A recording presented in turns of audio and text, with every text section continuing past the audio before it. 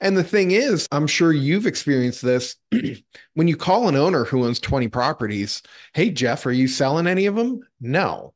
Hey, Jeff, are you selling Stone Creek? Actually, I might be considering it. Yeah. Right. And it's the same guy. It's only a, it's a 1% change in your conversation. Yeah. And it's just how you approach them. Yeah. I've been honest with people when I'm testing it as well, when I'm doing my prospecting out of there. Hey, this is a new prospecting system. It has identified whatever property as a potential sale candidate. What are your plans for the property? Yeah, it's interesting.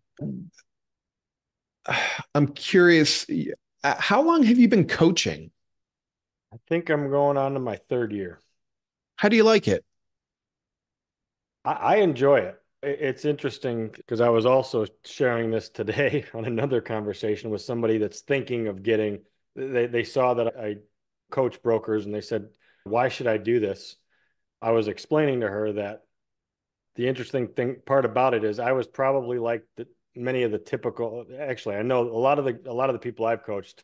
I was probably typical or worse than the ones I coached, where I was like, I, I wouldn't time block the time to do the work. So I'm always doing it like the night before or right before the call. And I didn't realize that my coach at the time could see when I submitted it, the link. So I was thinking I was be like, get on the call. No, I sent it in. Like,